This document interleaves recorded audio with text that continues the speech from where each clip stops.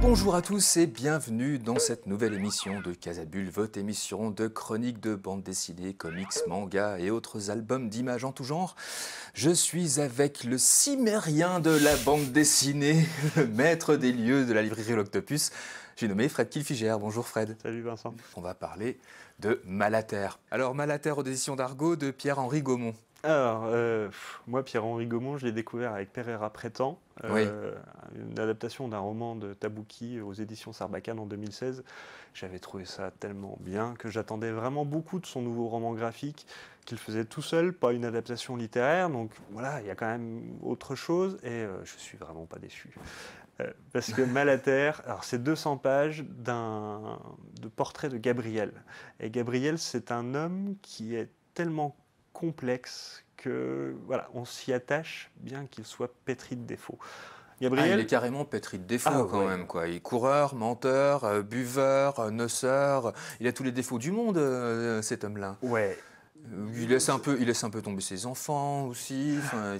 vu comme ça, Oh, c'est un peu compliqué. C'est plus compliqué que ça. non, euh, Gabriel, euh, en fait, il a, il a en lui cette, euh, ce bagou du commercial qui va toujours arriver à ses fins. il va tchatcher jusqu'à ce que tout le monde soit convaincu qu'il a raison. Le mauvais aspect du commercial, j'ai envie de dire. C'est ça. C'est, voilà.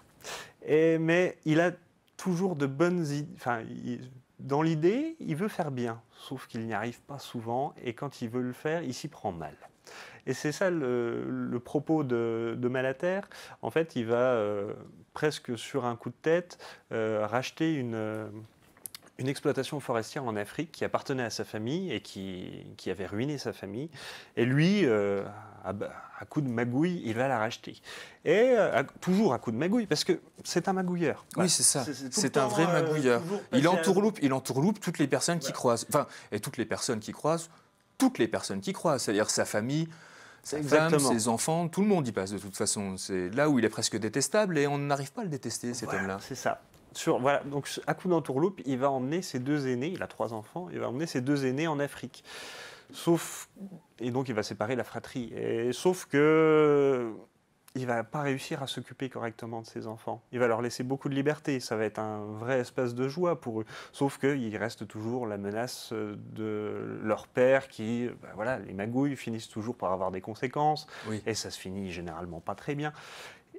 Et voilà, ce personnage est tellement entier, tellement en quête d'amour. Il est toujours, il veut toujours faire pour les autres, mais il le fait de façon égoïste. Et c'est ça que je trouve cette. Euh, c'est vraiment antinomique euh, finalement, parce que c'est vrai qu'on le voit vraiment égoïste. il se moque, on a l'impression qu'il se moque des autres, mais au fond de lui, tout ce qu'il veut, c'est être aimé. Tout ce qu'il veut, c'est être aimé, et, il, fait tout pour être, il fait tout pour être aimé, mais il n'y arrive jamais finalement.